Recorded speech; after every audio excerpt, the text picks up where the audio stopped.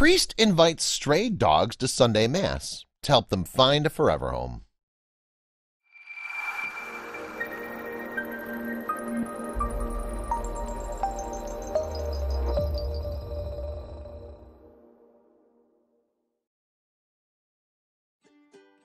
The church is known for helping the less fortunate around us, and for Father Juan Pablo de Aruga Gomes at Paróquia de Santa Gravatá, this includes our four-legged friends.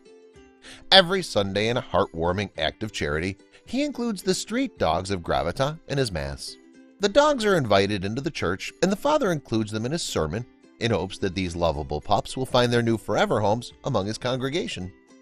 Throughout the week, the dogs are taken care of by Father Gomes in his rectory, where they're safe from the dangers and struggles of the streets. Interviewed by the Dodo, Father Gomes said that caring for animals and nature as a whole is a great gesture of love for God, humanity, and the planet. He dotes on his furry friends and makes sure that any sick pup receives the care they need. Some poor pups have come to him critically ill after a rough life on the streets, and Father Gomes has taken the time to personally nurse them back to health. Now these lucky dogs don't have to worry about suffering abuse or where to find their next meal. They're happily enjoying the warmth, love, and protection of the church and Father Gomes.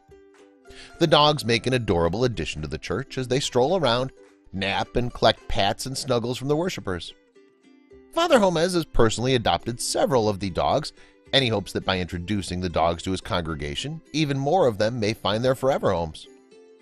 And Father Gomes's love and compassion have spread throughout the community. Volunteers help Father Gomes keep the dogs with steady access to fresh food and water.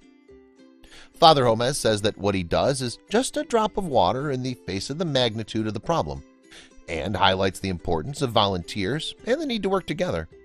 He hopes that his actions will raise awareness, inspire others, and lead to a better world for everyone. And his actions are already making waves on social media. Thousands of people have reached out to voice their appreciation and support. His selfless deeds have touched hearts around the world and undoubtedly inspired new acts of kindness. The precious pups of Paróquia de Santa Ana Gravatá can rest easy, knowing that they're safe in Father Gomes's loving arms. Please share this story with your friends and family.